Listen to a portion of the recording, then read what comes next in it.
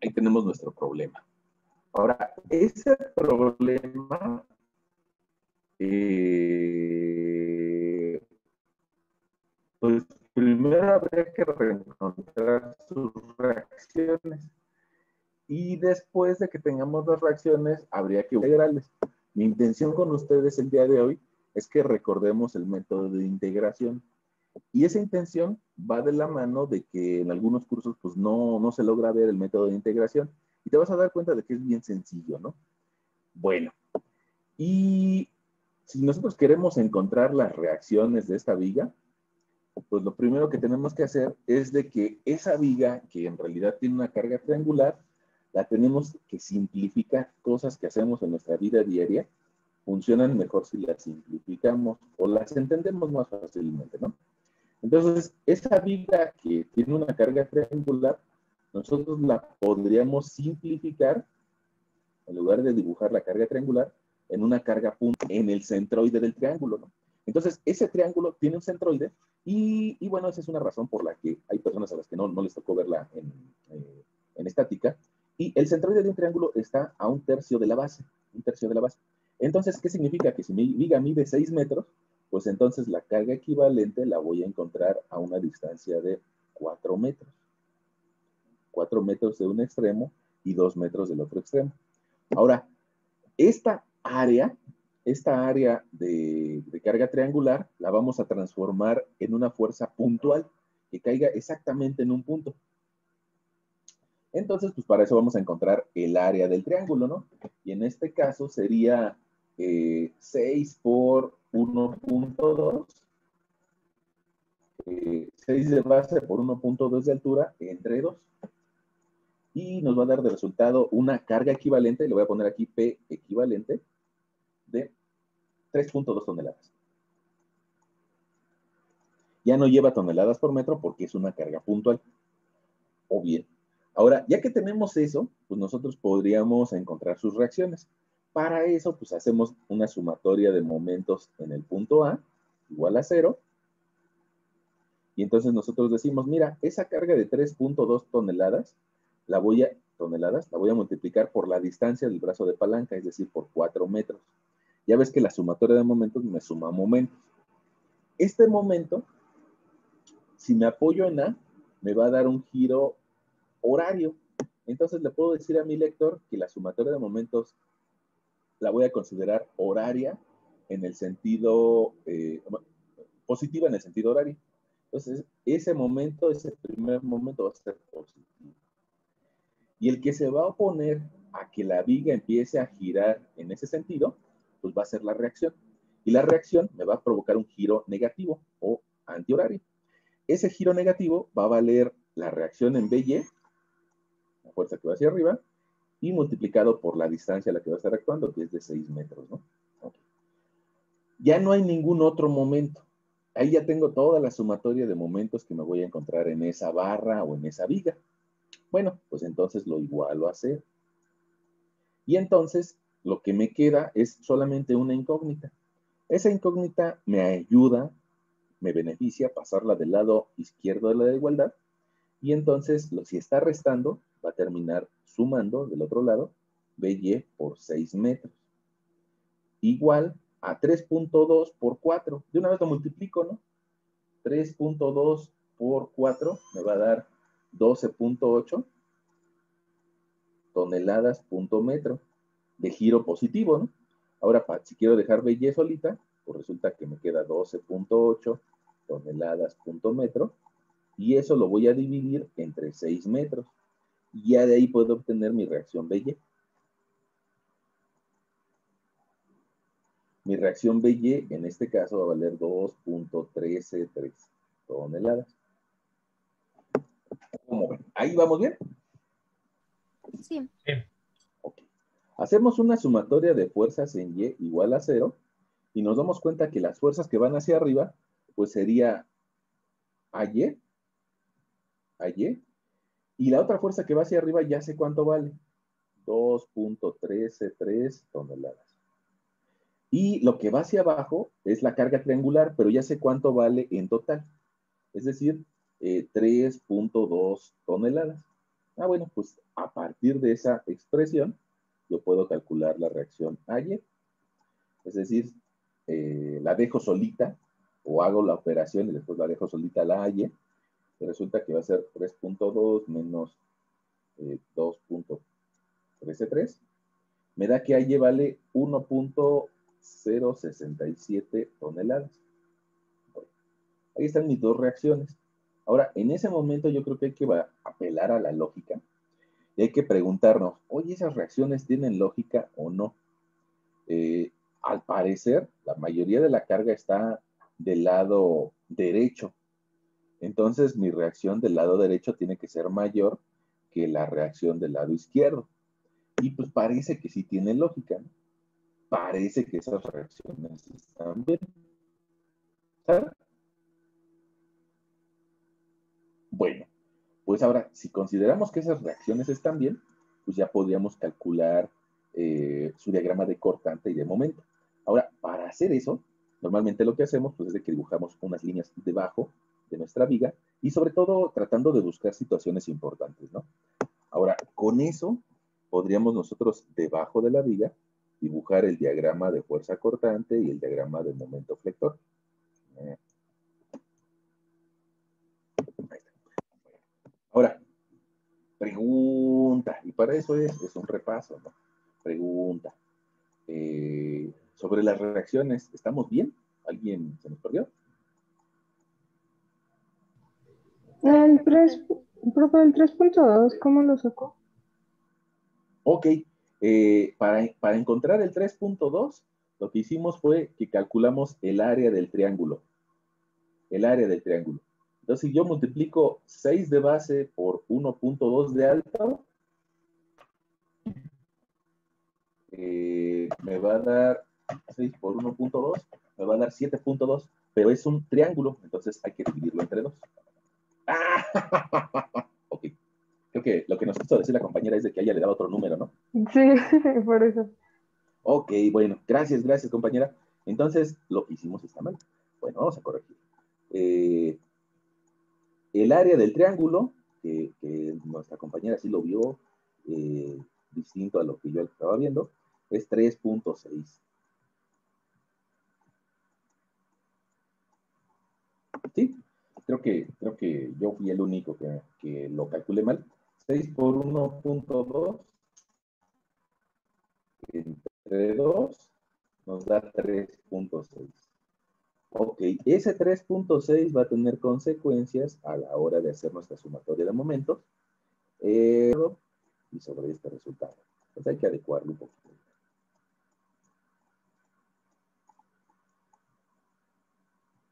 Ok, vamos a corregir. Dice, dice que la carga puntualizada debe ser 3.6. Va a estar aplicándose a 4 metros de distancia.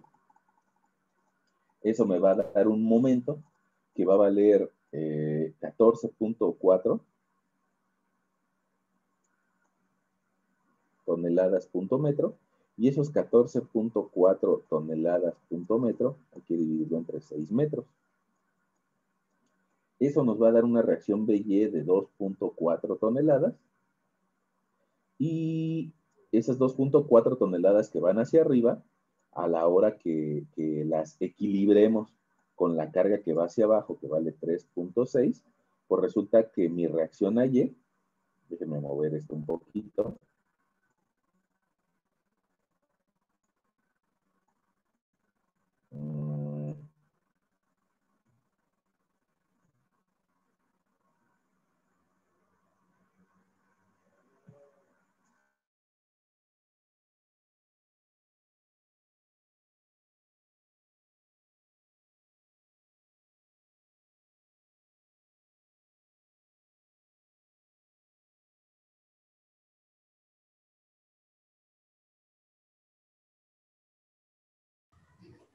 Profe, ¿se trabó?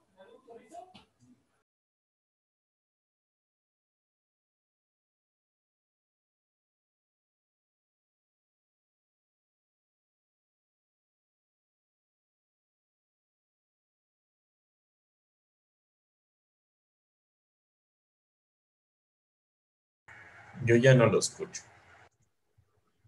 Ya se salió.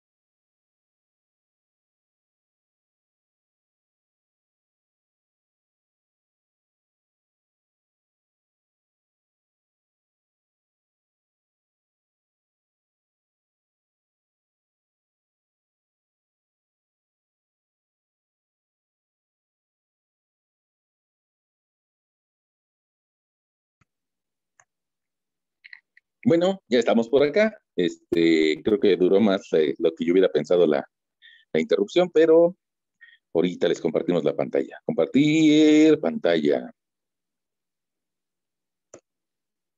Ahí está. En eso nos habíamos quedado. Una, una de nuestras compañeras nos dijo, oigan, creo que están sacando mal el área. Eh, y ahí ya estamos viendo las reacciones. Una pregunta, ¿esas reacciones están bien?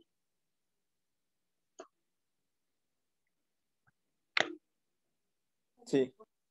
Ok. Bueno, ahora, nuestro siguiente paso después de sacar las reacciones es encontrar el cortante. Ahora, probablemente algunos de ustedes lo hicieron, probablemente no. Bueno, pues vamos a imaginarnos esta misma viga, nada más me voy a permitir eh, mover esto de las reacciones un poquito a otro lugar que no nos estorbe ahorita. Vamos a poner por ahí reacciones y, y que nos imaginemos esa viga original de otra forma. Mira. Profe. ¿Y? Este, na- nada más para aclarar, es que, bueno, me quedé con, con esa duda. En la, en la puntual que puso de 3 puntos y algo toneladas, es este, la carga la mandó a, a dos terceras partes del triángulo. Ajá, sí, sí, sí. Ah, ok. Sí, mira, el, el, el área, ahí se alcanza a ver todo, ahí ya se alcanza a ver todo. Ajá. Este, la base mide 6 metros, entonces eh, el centángulo recto. Entonces, el ángulo recto está en este caso en el costado derecho. Eh, un tercio de 6 metros son 2 metros desde el costado derecho donde está el ángulo recto. Y del Ah, otro lado, donde está la punta, serían 2 tercios. Y ya con eso quedamos. Ah, ok, perfecto. Gracias, profe. Bueno, entonces, eh, resulta que me gustaría que ustedes recordaran su clase de geometría analítica. Cuando ustedes iban en el nivel medio superior, este, llevaban una clase de matemáticas que se llamaba geometría analítica. Y en esa clase les dijeron que en el sistema coordenado, en el sistema X y Y, ese sistema X y Y no existe en ningún lugar, ¿no? Sino que es una representación que nos, que nos heredó Descartes y que nos permite graficar cualquier línea, cualquier línea y cualquier curva y cosas hasta más complicadas. Bueno, pero en tu clase de geometría analítica, ustedes esta recta la describían con una ecuación. Esa ecuación era de la forma y igual a mx más b, ahí en el nivel medio superior. Bueno, pues entonces, eh, esa ecuación la, la, generábamos cuando, cuando estudiamos eh, ese nivel en base a una eh, coordenada que se llamaba ordenada al origen y la simbolizábamos con una letra B. Y también en base a una relación de cambio dependiente o una relación de cambio de crecimiento a, a la derecha o a la izquierda en función de X. Y eso era la pendiente.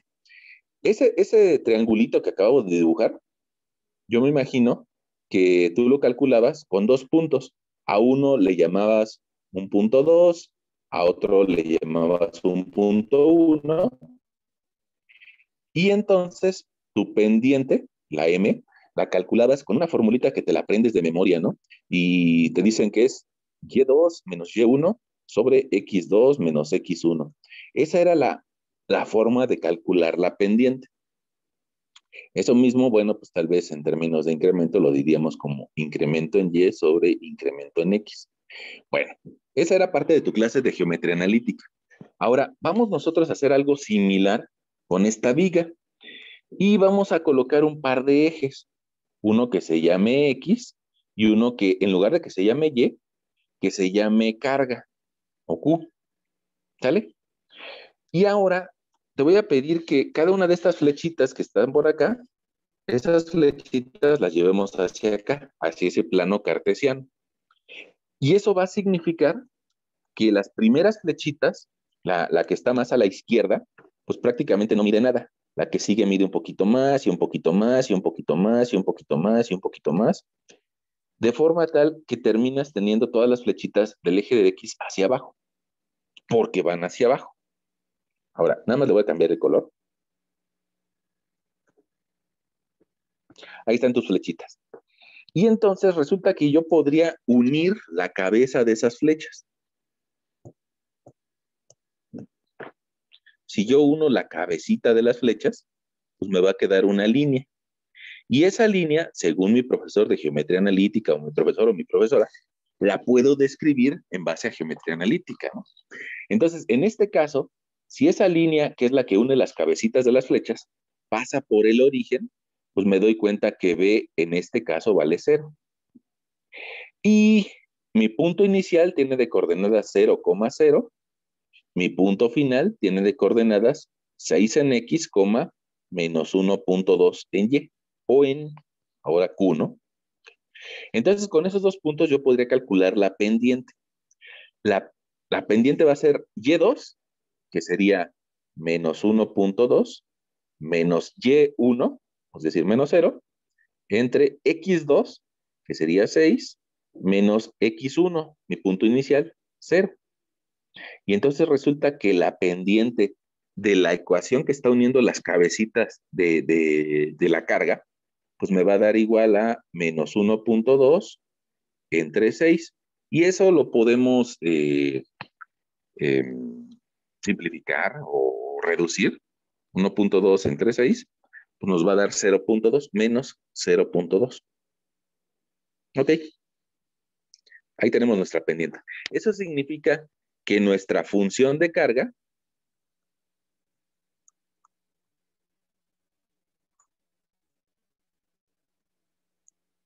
nos va a quedar Q igual a mx más b, es decir, menos 0.2 que es la m, por la x más b.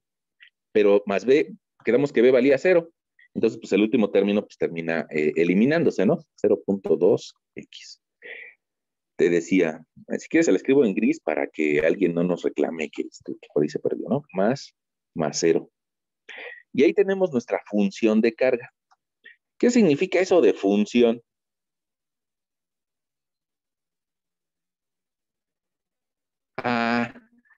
Cuando íbamos en nuestras clases de matemáticas, nos decían que una función era, aquí expresión matemática, cada valor de x había un valor de y, uno de x, uno de y, uno de x, uno de y, y ya tenemos una función que nos dice cómo va a ir cambiando. Bueno, ahora, esa función nos va a permitir calcular nuestra gráfica de cortante y nuestra gráfica de momento desde un punto de vista puramente matemático. Pero antes me gustaría hacer una pausa y decirles o preguntarles si sí recuerdan eso de su clase de geometría analítica y si lo podemos mm, recordar en términos matemáticos. ¿Cómo ¿Sí se acuerdan de eso? No, profe, no, no se acuerda. no muy bien. No muy bien. Híjole, esas clases de geometría analítica de, nivel medio superior, que este era cuando íbamos a, al billar, ¿no? Geometría.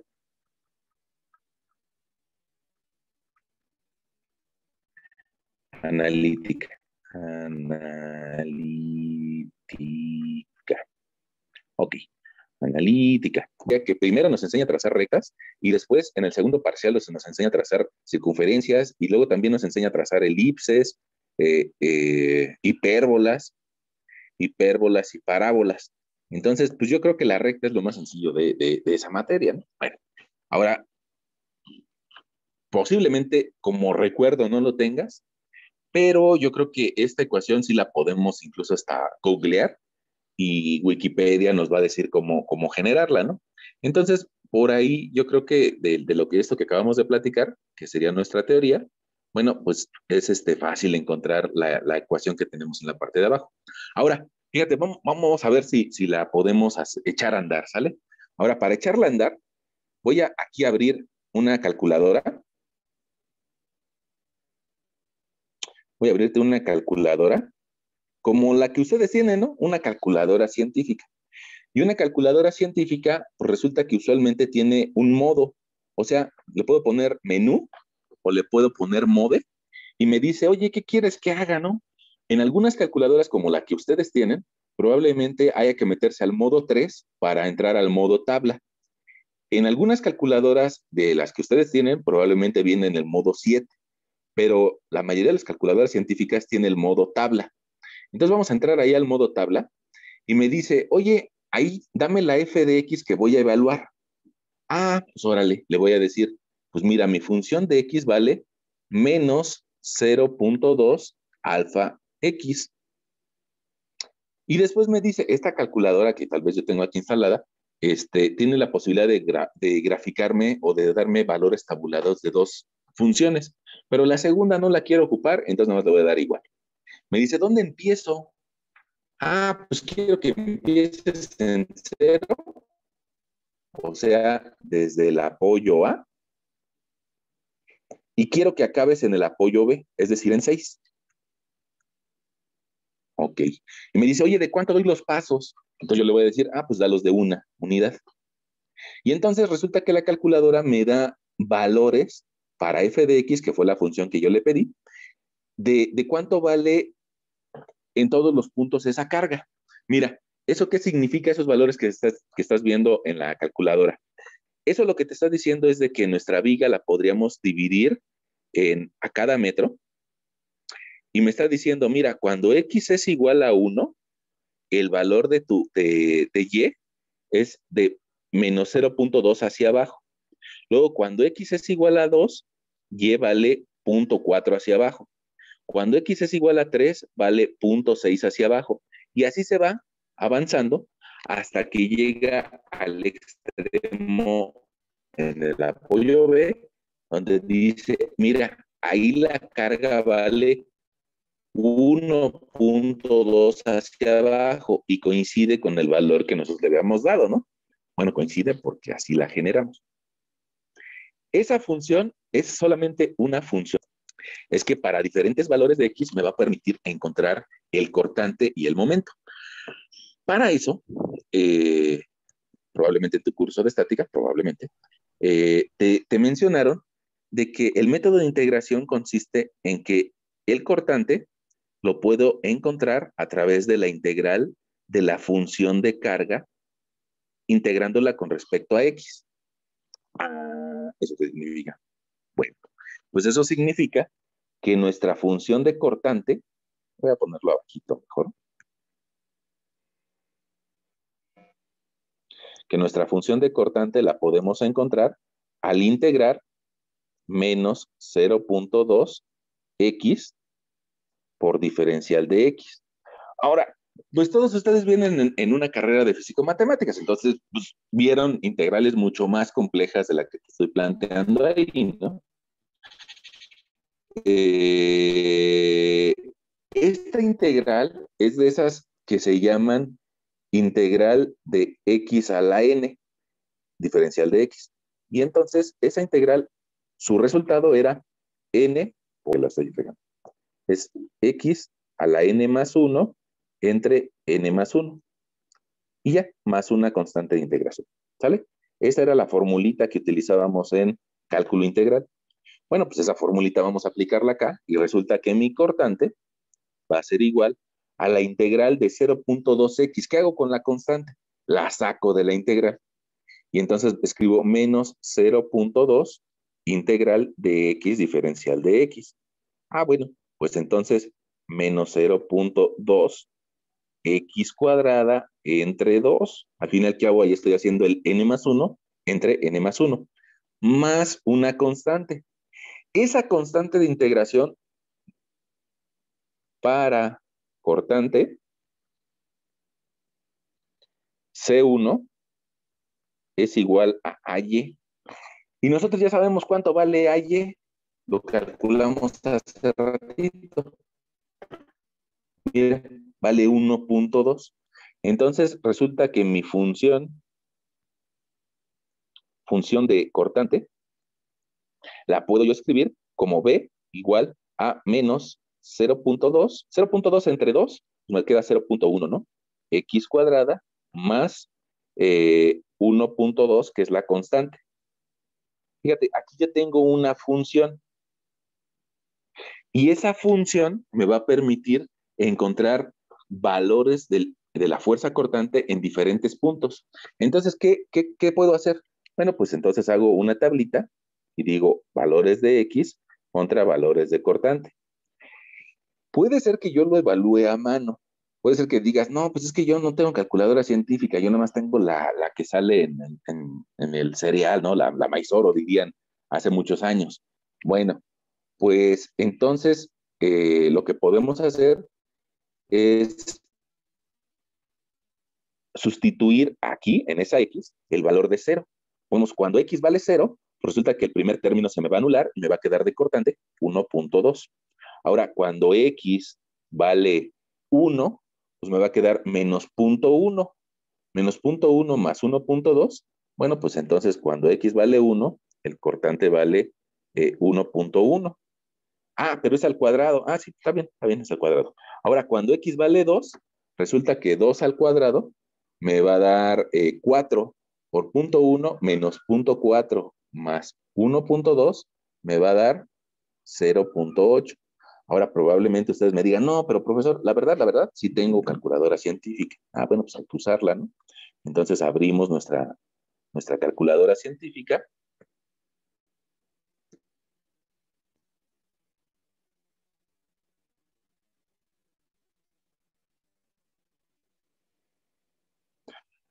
Abrimos nuestra calculadora científica y le decimos, mira, quiero entrar al modo, quiero entrar al modo 7 o al modo tabla les digo, probablemente su calculadora es el... Le voy a decir, mira, quiero que me evalúes menos 0.1 alfa X más 1.2 toneladas.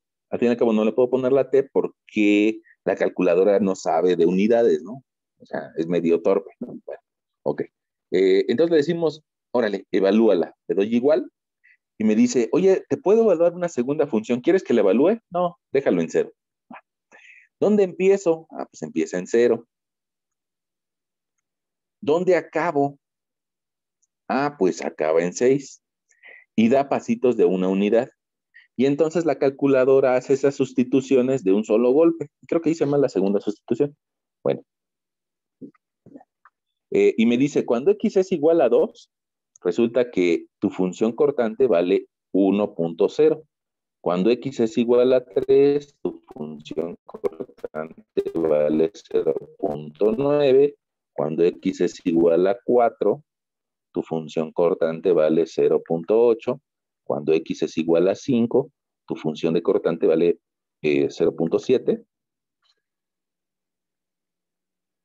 y cuando x es igual a 6, tu resultado de cortante es 0.6 pues no me gustaron esos valores.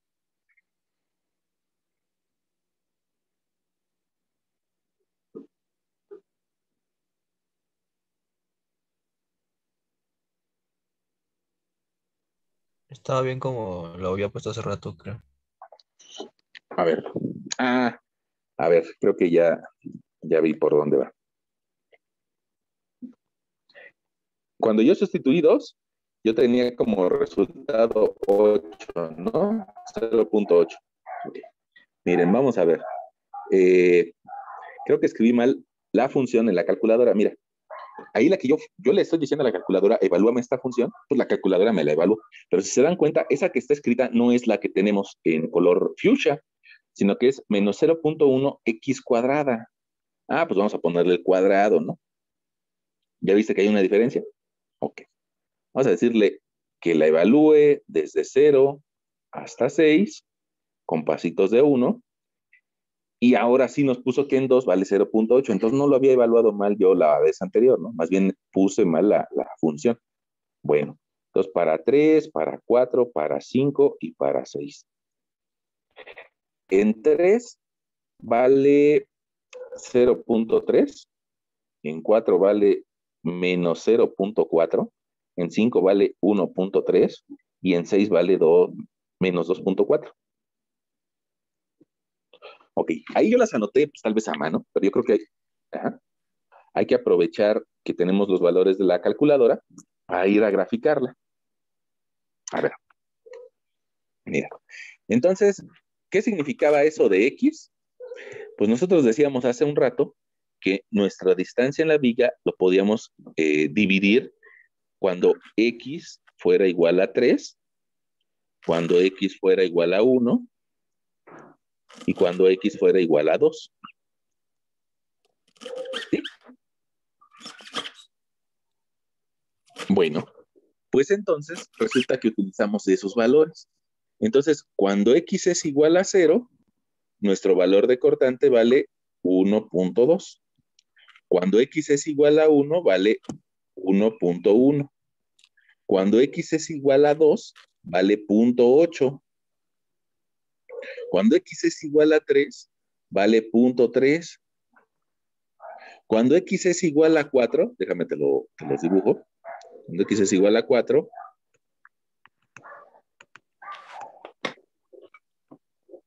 X igual a 5 y X igual a 3.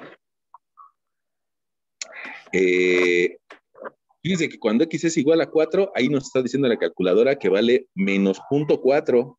Ya se va del otro lado, menos 0.4. Cuando X es igual a 5, vale menos 1.3. Cuando X es igual a 6, vale menos, menos 2.4. Y entonces resulta que ya podemos dibujar nuestra parábola.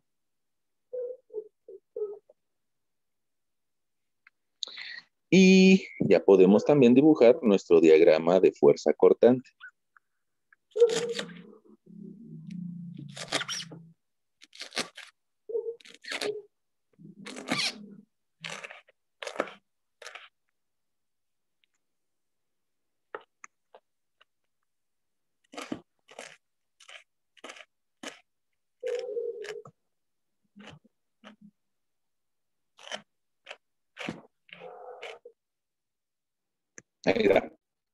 Bueno, es que creo que se me está metiendo el audio de alguien. ¿no? Bueno, entonces fíjate que resulta que ese diagrama de fuerza cortante que en algunas ocasiones nos cuesta pues bastante trabajo obtener, y más si nos lo están pidiendo a cada metleno. Nada más que, bueno, pues para hacer este método hay que acordarse un poquito del método de integración. Y bueno, pues este, ahí usualmente nos duele eso del método de integración. Ahora, ¿qué es lo bueno? Pues lo bueno es de que es un repaso, ¿no? Y que, y que nos va a dar la oportunidad de, en ese repaso de que si nos duele las integrales, bueno, pues agarrar mi libro donde, donde yo consulté integrales y pues darle un repasito. Y si me duele eh, la geometría analítica, pues agarrar mi libro de geometría analítica y darle un repasito. Ahora, probablemente tú me digas, pero es que están cerradas las bibliotecas. Pues sí, pero este, San Google tiene un montón de libros, ¿no? Entonces, ya sea que te escribas a estas páginas que se llaman Script, eh, de donde se pueden descargar libros, y bueno, por ahí podrías consultar este tema de, de geometría analítica. Ahora, imagínate, este tema de geometría analítica es tan básico, tan, tan, tan básico, que hasta nuestros primos, los que estudian derecho o contabilidad, este, ven esas, esas, eh, esos temas, ¿no? Entonces, pues más nosotros que nos metimos en una carrera de, de físico-matemáticas, ¿no? Eh, al fin y al cabo, nuestra carrera, o bueno, la ingeniería en arquitectura no lleva tantas matemáticas como ingeniería civil, pero, pero sí es de, de la misma rama, ¿no? Y sobre todo, eh, al fin y al cabo vamos a tener que hacer análisis numéricos mucho más complejos que esto, ¿no? Eh, bueno, ahora, fíjense, lo que nosotros hicimos fue que la integramos una vez y encontramos el diagrama de fuerza cortante. Le voy a poner por aquí su título, le voy a decir que aquí, a nuestro lector, que este es el diagrama de fuerza cortante. Eso nos dio a partir de la función de carga que era menos 0.2x. Esa función de carga la integramos una vez y nos dio la de cortante y nos dio de resultado menos 0.1x cuadrada más 1.2. La integramos una vez. Ah, bueno, pues ¿qué crees que siga? Pues el siguiente paso es de que si queremos encontrar el diagrama de momento flector, pues lo que nosotros vamos a tener que hacer va a ser volver a integrar, pero ahora nuestra función de fuerza cortante con respecto a X. Entonces, te lo pongo tal vez en otro color que sea un poquito más, que se vea un poquito más grueso.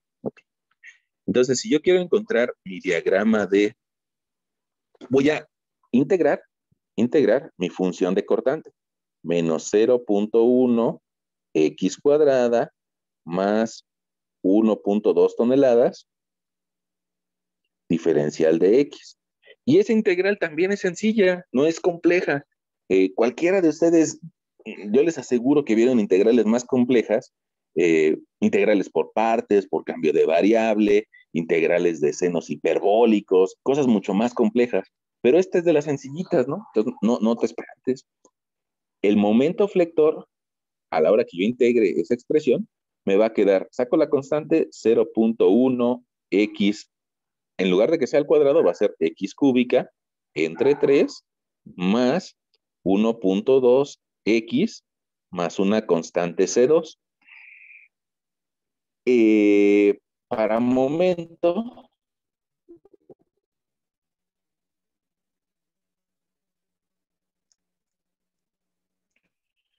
con este tipo de apoyo, ya ves que hay diferentes tipos de apoyos, pero para este tipo de apoyo, resulta que la constante C2 va a momento.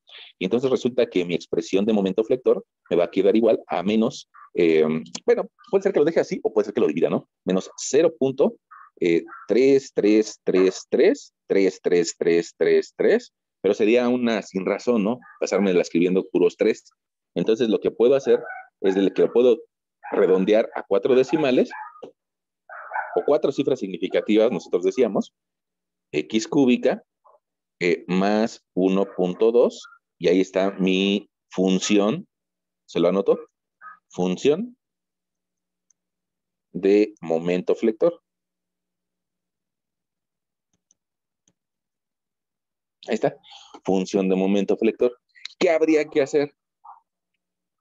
Pues lo mismo, ¿no? Sustituir valores de X para que me dé valores de momento flector. Entonces, pues abro mi calculadora.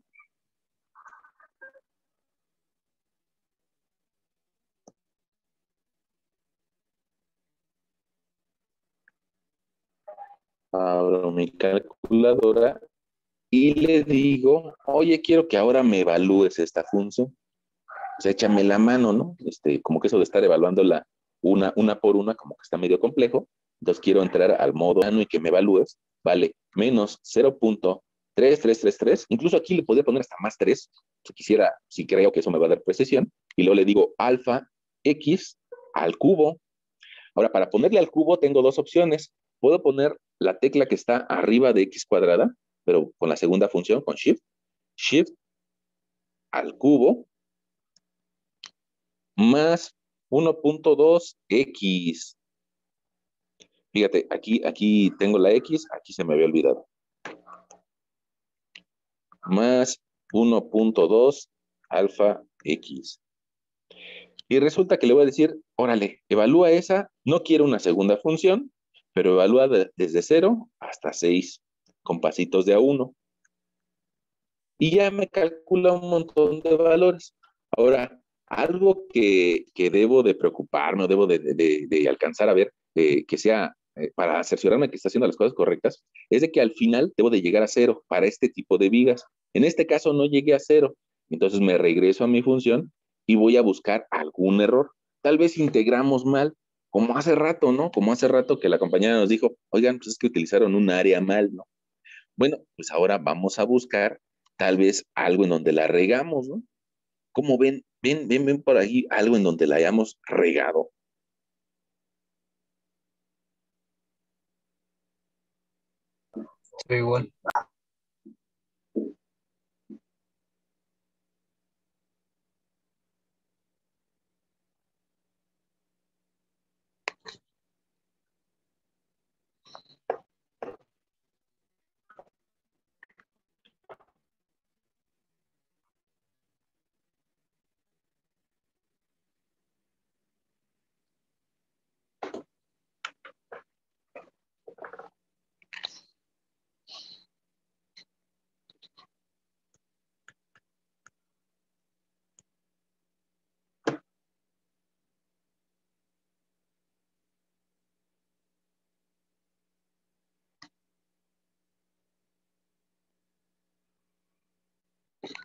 Profesor, Sí, ¿no falta un 0 en 0.33 que no es 0.033? ya, ahí está el error. Sí, es cierto. Fíjense, eh, lo que nos está diciendo el compañero es de que no puedes dividir un, un número que ya vale punto uno entre tres y que tu- su resultado te dé más grande, ¿no? O sea, no puede dar de resultado punto 33, sino lo que nos está diciendo el compañero es, Pero, está bien, está bien que hagan esa división, pero el resultado, déjenme le hago un zoom para, para que lo veamos, el resultado de punto uno entre tres es punto 033. profe, yo lo hice en la calculadora y a mí me da 3.33. Dos, dos, dos. A ver, mira. Vamos a ponerlo aquí. Mira, aquí 0.33. Sí, sí te escuché, sí te escuché. Mira, ah, modo, perdón. modo matemáticas. Mira, 0.1 entre 3, entre 3, entre 3. Ahí está lo que nos debe de dar. A mí me había falta, me hecho falta un 0. Y es lo que Ah, comentaba sí. el compañero, ¿no? Sí, es que yo lo elevé al cubo, el 0.1, perdón. No, no, no. Bueno, va. Entonces es punto 033. Entonces ahora sí nos regresamos a nuestra calculadora. Le decimos, quiero que evalúes 0.0333. Gracias, compañero. Eh, alfa x al cubo.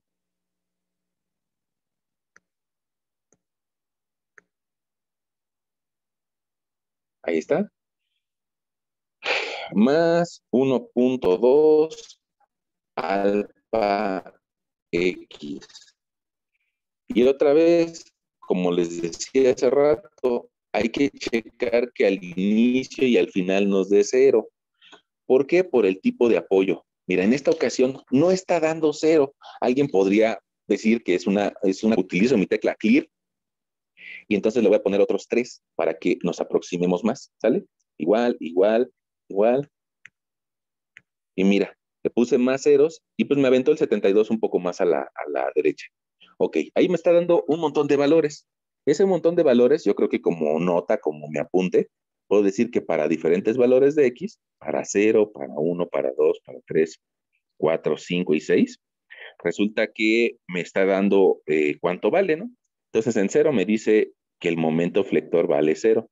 En 1 el momento flector vale 1.16. En 2 el momento flector vale 2.13. En 3 el momento flector vale 2.7.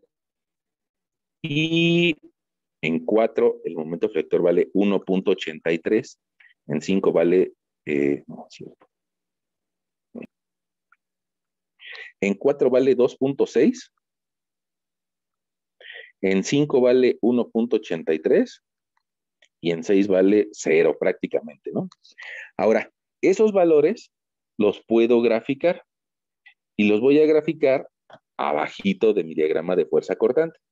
Para eso, pues quedamos que empieza en 0, acaba en 0, sobre todo por el tipo de apoyo que tiene. Esos apoyos simples de nuestra materia de estática o de estructuras isostáticas tienden a generar momento cero. Así debe de ser, momento cero. Y después de ese momento cero, bueno, pues a un metro de distancia, resulta que tenemos un momento que vale eh, 1.16.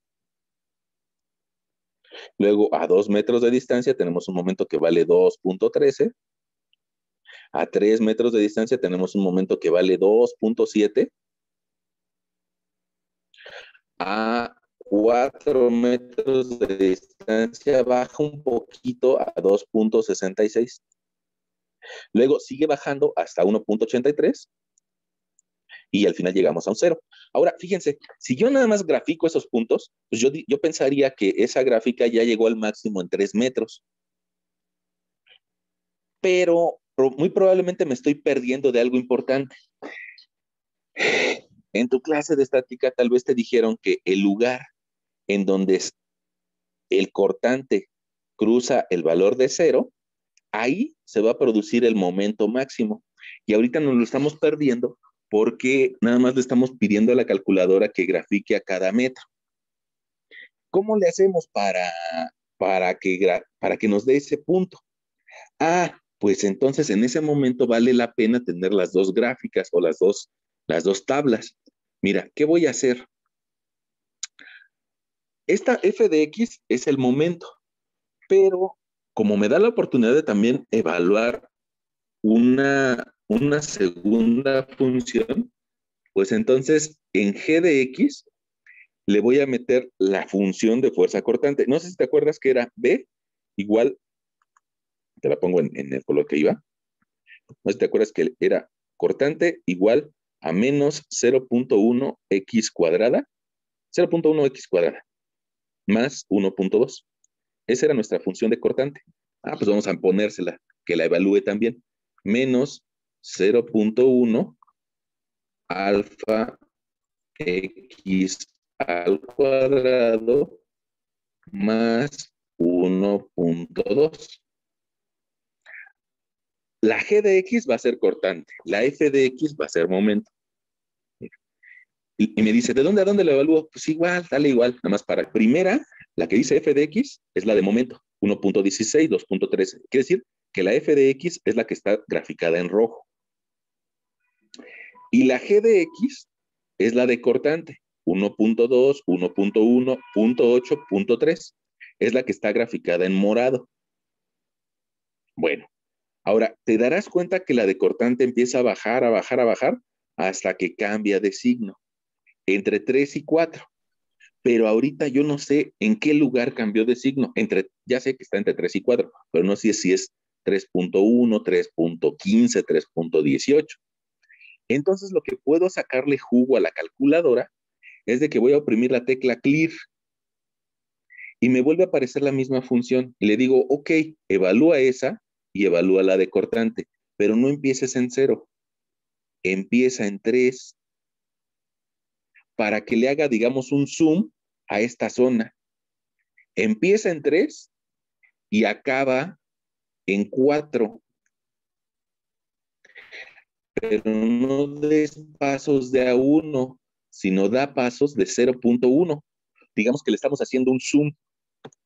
Y de esta forma hace sus cálculos y me dice diferentes valores cuando x vale 3.1, 3.2, 3.4. Mira, ya por aquí alcanzamos a ver que en x igual a 3.5 cambio de, cambio de signo la función cortante se empezó a hacer tan pequeña que ya cambió de signo. Entonces anda entre 3.4 y 3.5. Si yo quiero, que usualmente lo hacemos, si yo quiero más precisión, pues queremos saber tal vez hasta en qué centímetro cambia. Ah, bueno, pues entonces metemos, le damos clear, le decimos quiero que evalúes las mismas funciones, pero ahora quiero que empieces en 3.4 y que acabes en 3.5 y que no des pasitos de punto uno, sino que des pasitos de 0.01, o sea, cada centímetro. Y aquí nos estamos dando cuenta de que lo puede hacer, que tiene esa capacidad, y ahí prácticamente ya estamos encontrando en dónde el cortante vale cero, a 3.47. Déjame te lo anoto en la pantalla de la izquierda. A 3.47 metros se genera un cortante de cero alguien nos va a decir, oye, pero es que ahí no alcanza a salir del cero. Bueno, pues hay que darle más decimales, ¿sale? Pero ahí ya prácticamente encontramos nuestro momento máximo, que es algo bien importante, saber cuánto vale el máximo momento en ese mismo punto. Y ahí nos está diciendo que en ese mismo punto, el momento máximo vale eh, 2.771. Fíjate, ese valor sí es más grande que 2.7. Entonces, pues ya podemos trazar nuestra gráfica de momentos. Puede ser que nos quede medio feíta, eso no te preocupes. Este, eh, o sea, honestamente, de que quede fea a que, a que estemos mintiendo en los valores, prefiero que quede fea, ¿no? Ahí está nuestro momento máximo, ya lo podemos assurar.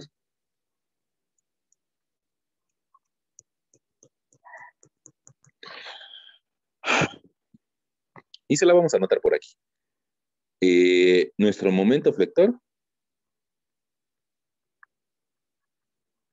tiene una función de momento flector igual a eh, menos 0.0333 x al cubo más 1.2x. Y con eso podemos saber si eh, mi profesor me dice, oiga, ¿puede calcular cuánto vale el momento cuando x sea igual a 2.5? Ah, pues ya, con esa función la podemos calcular. Oiga, ¿cuánto vale el momento cuando x es igual a, a 7? Ah, pues 7 ya está fuera de la viga, no lo podemos hacer. Pero cuando x sea igual a 5, sí lo podemos hacer. Entonces, si se dieron cuenta, pues resultó, bueno, yo creo que un poquito sencillo calcular nuestros diagramas de cortante y de momento. Yo creo. Pero probablemente alguien de ustedes diga, no, la verdad, a mí sí se me hizo bien complejo eso. Entonces, no sé cómo ustedes vean. Si se les hizo muy complejo, pues si quieren hacemos otro ejemplo. Ahorita, al fin y al cabo son las 5. Nuestra sesión acaba a las cinco y media y es Profe, ¿le puedo preguntar algo de la calculadora? Eh, algo de la calculadora, es que a mí para las tablas no me sale que le agregue otra función. Ah, ya, ya, ya. Bueno, eh, hay calculadoras que nos permiten eh, evaluar dos funciones y hay otras que nada más nos dejan una. Miren, eh, les, les enseño, pongamos, mira, iniciar video. Ah, ahí está mi, calculadora. Esta, esta que es mi calculadora de, a dejar de, no me deje. Ahí está. Esta que es mi calculadora, este, es una Casio 991 Plus. No se ve, espérenme.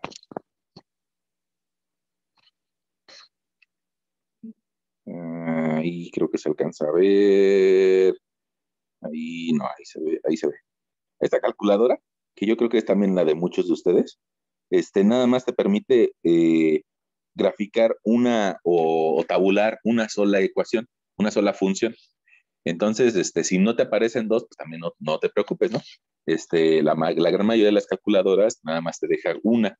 Pero bueno, pues ahorita aprovechando que tal vez este, la tenemos en la aplicación, pues me, me, bueno, les quise compartir la, la otra, la que, la que puede hacer dos. Hay algunas Casio y hay algunas, este, híjole, que están hasta de diseño, diseño un poquito feas, pero que tienen esa capacidad para evaluar dos funciones.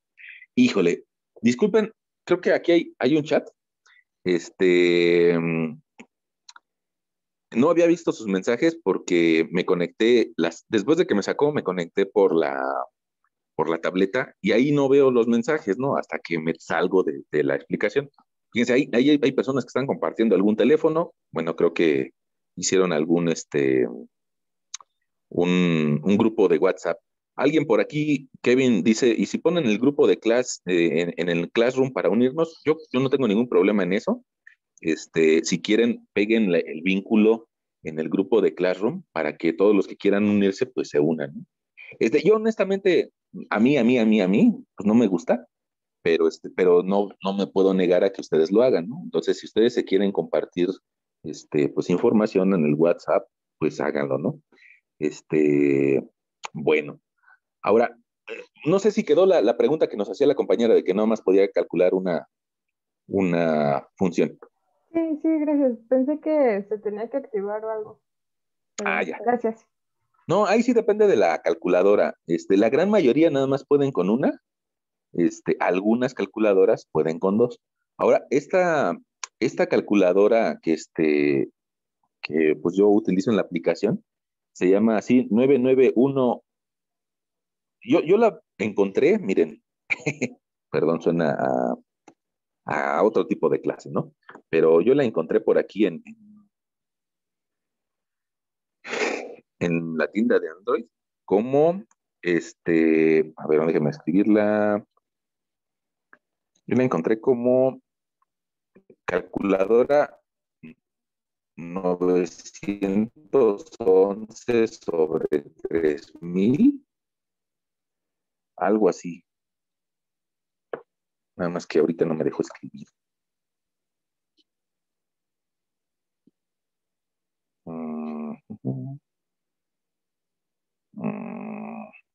A ver, espacio. 3000, calculadora.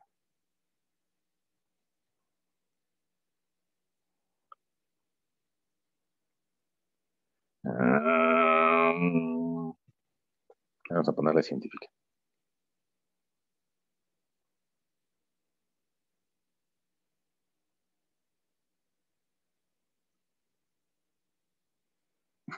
Mm. Creo que me sobró un cero. Mm, Bueno, aquí hay varias calculadoras. Mira, es esta. Esta, esa que le estoy este, por ahí eh, seleccionando. Esa sí te permite este, dos funciones, ¿no? Bueno, si la quieren bajar, pues ya ven que, bueno, ya está. Ahora, yo les decía que por el horario que, que vamos, pues todavía es este, una muy buena hora como para que si ustedes quieren, este, hacemos otro ejercicio, como ven.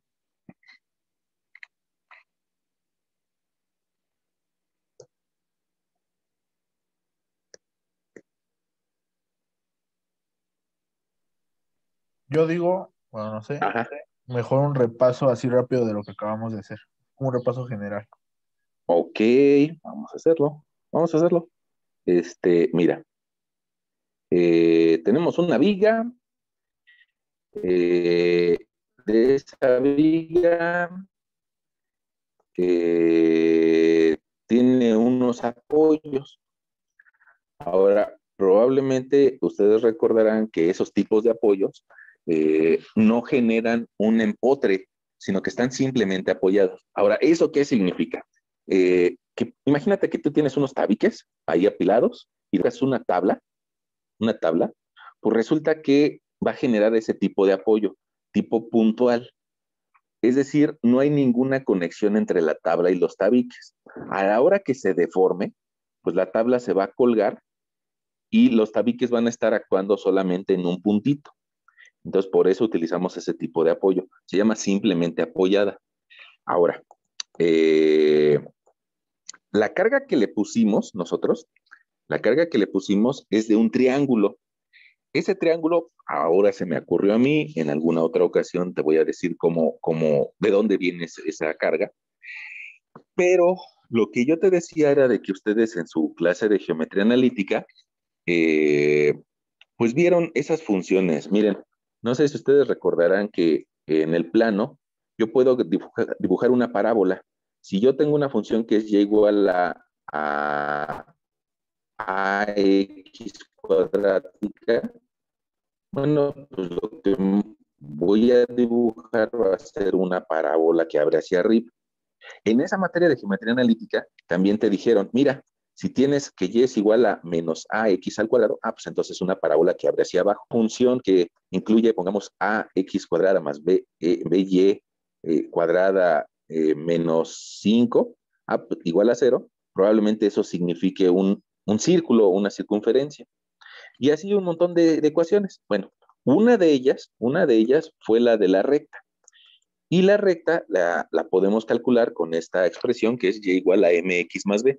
La m es la pendiente y la b se llama ordenada al origen.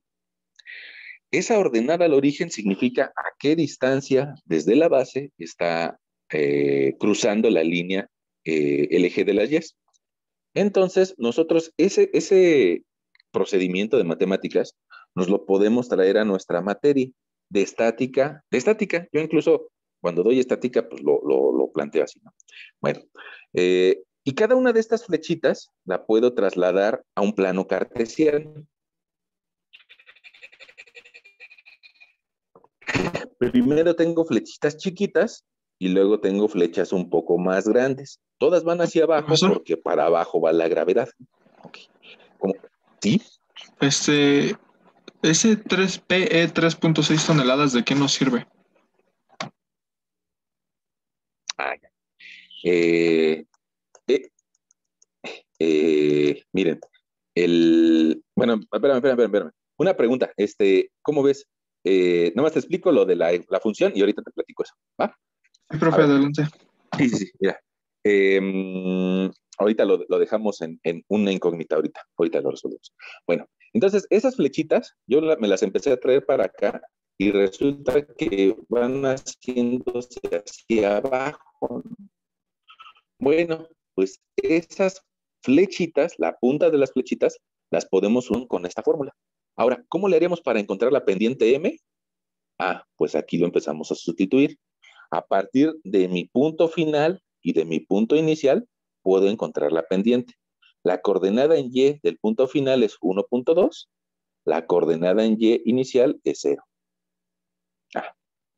Y entonces sustituyo la pendiente, que es Y2 menos Y1 entre X2 entre eh, X1. Ya encontramos la pendiente que vale menos 0.2. En esta gráfica no tenemos ordenada al origen. ¿Por qué? Pues porque cruza en cero. Entonces el término B se anula y por eso por aquí te lo puse en gris. Ya está. Y ya con eso logramos encontrar una función de carga. ¿Qué quiere decir eso? Mira, quiere decir que la carga que tengas, la que sea, puede ser que sea una hipérbola, puede ser que sea un nido de pájaros, o puede ser que sea cualquier tipo de carga. ¿Alguien de ustedes habrá visto alguna iglesia que tiene una forma así? Bueno, parabólica. Bueno, cualquier tipo. Y si la puedo transformar en una función, la puedo integrar y llegar a su gráfica de eh, cortante. Ahora, lo que nos preguntaba el compañero acerca de qué significaba el 3.6, bueno, se nos quedó ahí colgado de la explicación de reacciones. Mira, la gráfica de acá arriba, la que la original de nuestro problema, es un poquito compleja porque tiene una carga triangular. Y pues probablemente tú me dirás, yo no vi cargas triangulares en el semestre anterior. Qué bueno, qué bueno que no hayas visto. Bueno, ahora, esa carga triangular la transformamos en una puntual. ¿Cómo le hacemos? Pues calculamos el área del triángulo. Eh, incluso hace rato, pues alguna compañera nos corrigió ese valor. Eh, le calculamos el área del triángulo, 6. Es decir, nos simplificamos la vida. En lugar de tener un triángulo, lo transformamos en una carga puntual. Y ya que tenemos esa carga puntual, pues entonces podemos calcular sus reacciones. ¿Cómo? Pues como nos enseñaron, ¿no? Sumatoria de momentos en A, sumatoria de momentos en B, y de esa forma podemos encontrar las reacciones. Eh, una pregunta. ¿Sí quedó de dónde o dónde se utiliza el 3.6? Sí, profe, gracias. Ok. Sí, pues es una carga distribuida, ¿no? Es Nada más una que- carga. Nada más que no tenemos rectangular, tenemos con pendiente. Por eso la tomamos en el centro y nos Ujú, salió el ujú. 3.6. Ah, ok, gracias. Ah, la, la, en su centroide, en su centroide. Bueno, Este, centroide, ajá. órale. Ahora, ya que tenemos la función de carga, pues entonces nada más lo integramos. ¿Qué tan fácil o tan difícil puede ser? Bueno, pues es el menos 0.2 eh, se queda como constante y la x, esa sí la vamos a integrar. Entonces que nos queda, si estaba en grado 1, ahora nos va. La x que era grado 1 se transforma en grado 2 entre 2 a la hora que la integramos. Y llegamos a una nueva, pues alguien diría ecuación, en realidad se llama función. Y esa función es la que le podemos meter a la calculadora. probablemente, y eso lo entiendo, ¿eh? lo entiendo, probablemente tú en tu curso de estática no hiciste eh, alguna viga con una carga triangular. Lo entiendo, aunque bueno, pues es criticable, ¿no? Pero no es criticable hacia ti, sino es tal vez criticable hacia quien te dio el curso. Bueno, la volvemos a integrar, la volvemos a integrar, y eso lo hicimos de este lado. Ya que teníamos esta función, la volvimos a integrar. Resulta que lo que ahora era una x al cuadrado se va a transformar en una x al cubo sobre 3. ¿Por qué? Pues porque la integramos. Ya ven que la integral es la, el encontrar el área debajo de la curva. Eh, pues la metemos a la calculadora y nos da eh, una serie de, puntos. Ahora, algún punto importante que hay que recordar, vamos a hacerle zoom y te lo platico. Eh, no sé si recuerdas que la reacción en A valía 1.2 y que la reacción en B, o la BY, valía 2.4. Y esos valores están aquí disfrazados, mira. Aquí está el 1.2 y ese 2.4 está por acá. Eso es un punto como para ver si estamos haciendo bien las cosas o no. Y lo otro que es para ver si estamos haciendo bien las cosas o no, es de que ese apoyo que yo te pedía que te imaginaras como una tabla encima de unos tabiques, pues evidentemente que no puede transmitir fuerza a los tabiques. Entonces, por eso me da un momento de empotre en los apoyos. ¿Cómo ven? Eh, ¿Estamos bien o alguien, este, hubo algo en especial en donde no le, no le agarró la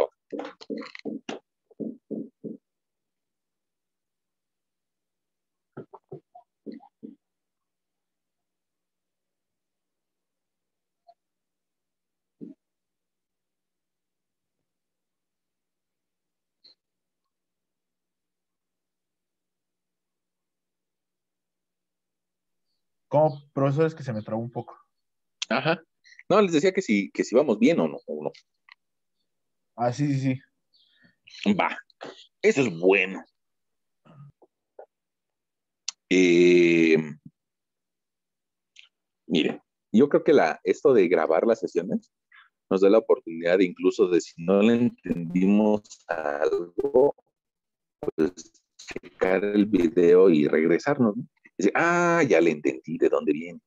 Ah, ya. Ok. Entonces, eh, pues es en ese mismo orden de ideas. Pues tal vez les digo, yo creo que podríamos hacer un, un ejemplito muy sencillo para, para reafirmar este concepto. Mira, ahí tienes una viga de dos apoyos. Ahí tienes una viga de dos apoyos. Y tienes una carga distribuida. Vamos a ponerle aquí arribita una carga distribuida, uniforme es decir, un montón de flechitas hacia abajo, ¿no? Eh, esa carga distribuida, pues vamos a hacerla pues un poco pequeña, tal vez este, unos 700 eh, kilos por cada metro. Ok. Y vamos a considerar una viga que tiene de longitud, eh, vamos a darle unos 8 metros. Bueno, pues evidentemente que esa viga, las reacciones van a ser iguales. La de A va a valer lo mismo que la de B. ¿Por qué? Pues porque tiene simetría. Y es más, tan fácil es que podríamos multiplicar 700, 700 por 8 y dividirlo entre 2. Y ahí vamos a tener una reacción BY que vale 2.800 kilos y una reacción AY que vale 2.800 kilos. Ok, ahí está. Bueno, entonces por lo que platicamos hace algún momento, pues podemos otra vez poner un, eje coordenado que sea X contra Q. Y las cargas, en este caso, van a ir hacia abajo. Todas valen lo mismo. Bueno, si yo las uno y le pongo tal vez un poquito de mayor calidad, diría mi profesor de dibujo. Si le pongo calidad, pues me voy a dar cuenta que eso es una recta constante. Eh, el que sea constante no significa que no le pueda aplicar el procedimiento que decíamos. Entonces, si la forma es de la forma y igual a mx más b, pues en este caso la pendiente, la pendiente m, no tendría cambio en y. El cambio en y valdría cero. y el cambio en X sí tendría valor. El chiste es de que si arriba le pongo 0 y abajo le pongo 8, pues me va a dar 0. Entonces, la función de carga me va a quedar Q igual a menos 700. ¿Por qué? Pues porque todas las, todas las flechitas valen 700 hacia abajo. Menos 700. Ahí está mi, función de carga. Se lo anoto. Función de carga. Ahora, en base a lo que nosotros aprendimos, resulta que la cortante va a ser la integral de la carga con respecto a X. Entonces la cortante va a ser menos 700 eh, integral de menos 700 diferencial de X. ¿Qué le hacemos a esa integral? Pues sacamos la constante, 700, integral de diferencial de X. La cortante me va a quedar menos 700X más una C1 pero quedamos que esa C1 va a valer el apoyo en A, la reacción en A. Entonces nos va a quedar más 2.800 kilogramos. Ahí está mi función de cortante. Ahora, mi, mi, función de momento, lo que tengo que hacer es integrar la cortante con respecto a X. Es decir, integrar menos 700 eh, X más 2.800. No le voy a poner los kilogramos porque este, pues los kilogramos no se integran, ¿no?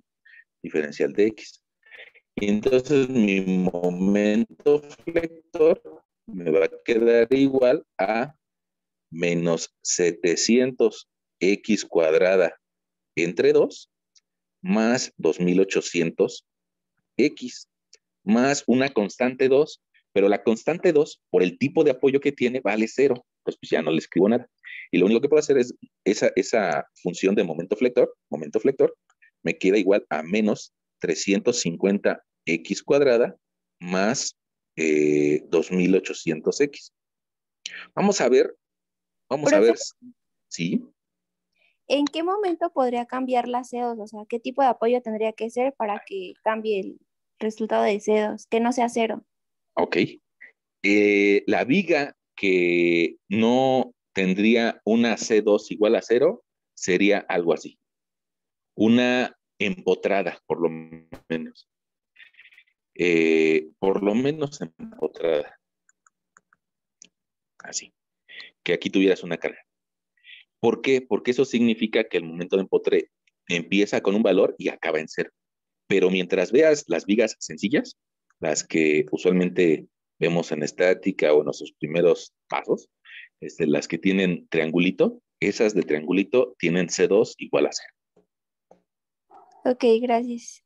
Ahora, nuestro objetivo de nuestro curso es que en nuestro tercer parcial resolvamos vigas así, un poquito difíciles, ¿no? O sea, doblemente empotradas, que por aquí traigan cargas puntuales, pero que al fin y al cabo que tengan empotre al inicio y al final. Ese es el objetivo de nuestro curso. hacia, hacia el tercer parcial que aprendamos a hacer ese tipo de vigas. Este, pero pues evidentemente que en el primer parcial o en los primeros días, pues no, no, no nos podemos meter con estos monstruos, que vas a ver que, que nos vamos a llevar un poquito de tiempo para resolverlos, ¿no? Bueno, ahora ya tenemos ahí nuestras dos funciones. Y ese par de funciones, pues ya los podemos eh, graficar, ¿no? Ahora, lo único que nos haciendo evaluar en la calculadora ese par de funciones, pero lo que le puedo, lo que estoy haciendo ahorita es tratar de poner, pues, unas divisiones que nos permitan graficar el valor de cortante y de momento en x igual a 2, x igual a 4 y cosas así, ¿no? Miren, nada más le voy a agregar aquí una base que nos permita graficar el cortante y el momento para que sea rapidito. Miren, abro mi calculadora Ah, creo que la Ahí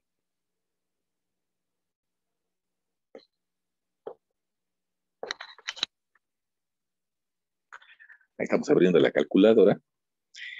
Y le vamos a cargar esas dos funciones. Al fin y al cabo, si puede utilizar dos, pues vamos a pedirle que nos eche la mano y que calcule dos funciones. La primera, la de cortante, menos 700 alfa x más 2800 eh, kilogramos. Esa es la, función de cortante f de x. Y la segunda, que utilice menos 350 alfa, alfa X ah, al cuadrado más 2800 alfa X. Y vamos a cuidar esos puntos importantes que les decía hace un momento, ¿no? Eh, en, la, en la primera me debe de dar las reacciones al inicio y al final, y en la segunda me debe dar cero al inicio y al final. Me dice, ¿dónde empiezo? Ah, pues quiero que empieces en cero. ¿Dónde acabo? Pues quiero que acabes en 8 metros, que esta nueva viga mide 8 metros. ¿Cada cuándo doy un pasito? Pues cada dos metros, para que no nos dé mucha información. Y mira, ahí lo que nos está diciendo eh, son algunos valores. Y antes de calcularlos, antes de graficar, yo creo que hay que ver si tiene lógica o no. Eh, lo que te decía, la primera que es la de cortante, al inicio y al final me debe dar los valores de las reacciones. 2800 en cero y al final menos 2800, es decir, suena lógico.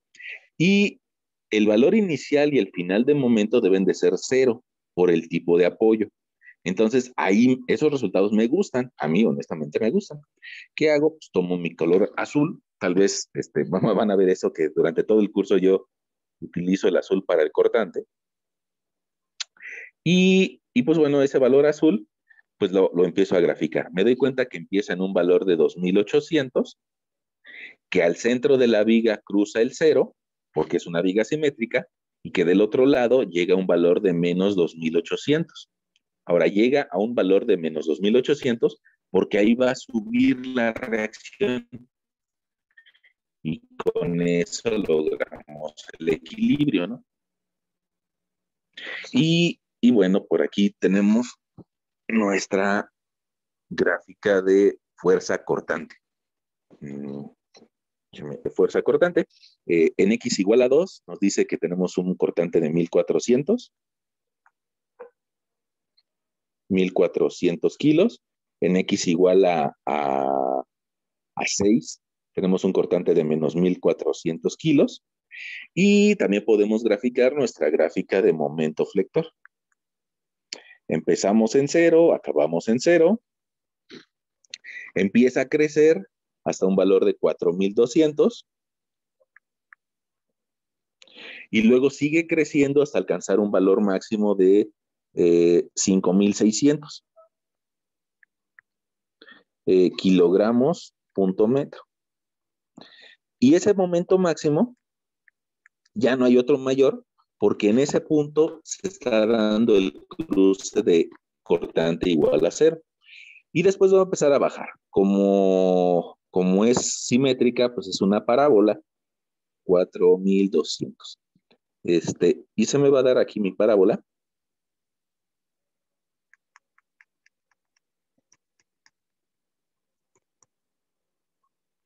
Ahora, ¿cómo sé que es una parábola? Pues otra vez a través de mis cursos de geometría analítica, ¿no? Aquí veo que hay un signo menos, eso me dice que va a abrir hacia abajo.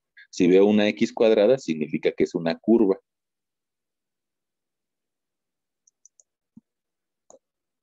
Eh, ¿Cómo sé que la, línea de arriba es una recta? Pues porque hay un término de x a la 1, o sea, lineal. Y bueno, pues ahí es donde cobra importancia este, nuestras clases de, nivel medio superior, ¿no? Este, y se dan, no es por, por bueno, pues tal vez comentándoles, eh, en el ETS pues, se les pidió un ejemplito así, y pues yo creo que lo hicimos explicándolo en 10 minutos. Imagínate, si tú no se lo tienes que explicar a nadie, pues, este, pues es más rápido, ¿no? Y en otro ETS, pues hicimos también eh, el problema de, la viga con carga triangular y también tiene que ser muy rápido. Eh, entonces, la función de la carga cuando no hay pendiente es igual al peso de la viga por sobre metro. Ajá, sí, sí, sí, sí, sí. O sea, lo, que nos estás diciendo es que si este 700 se llega hacia acá, sí. Nada más eh, con, la, con la particularidad de que le hagas el cambio de signo, porque este, pues estamos acostumbrados a que las vigas las dibujamos así, ¿no? Con, con la carga por arriba. Pero bueno, a veces se nos olvida que el que vaya la flecha hacia abajo significa que va en el sentido negativo de las 10. y por eso es este, este signo que, que apareció por ahí. Yo creo que una forma de explicárselos es de que las flechitas las colocamos debajo del eje de las X. Ahora, eh, y ahí tal vez entraría una pregunta filosófica, ¿no? Eh, ¿Es lo mismo eh, empujar que jalar? Bueno, pues depende de la condición. En este caso, que es una, una barra, una barra, pues da el mismo efecto que la fuerza la tenga por arriba a que la tenga por abajo, en una barra, ¿no? Que no tiene fricción lateral y que no tiene fricción por, por algún otro elemento. No, eso, esa, eso de jalar y empujar no sería lo mismo si tuviéramos contacto con un piso que le genera una cierta fricción. Pero así como, como planteamos el, el problema, no, no pasa nada si lo ponemos la carga por arriba o por abajo. Usualmente estamos acostumbrados a dibujar vigas con la carga por arriba, ¿no? Pero en realidad la, la dirección de esas flechas o la dirección de esos vectores es hacia la parte negativa. Y pues ya. ¿Cómo ven? ¿Todo bien? Sí, profe. Sí. Ok. Sí, profesor. Bueno, eh, ¿qué vamos a hacer en nuestra siguiente sesión? Pues vamos a hacer un repaso otra vez de vigas, pero tal vez en nuestra siguiente sesión vamos a platicar algo que yo creo que sí vieron ustedes, el método de las secciones en vigas.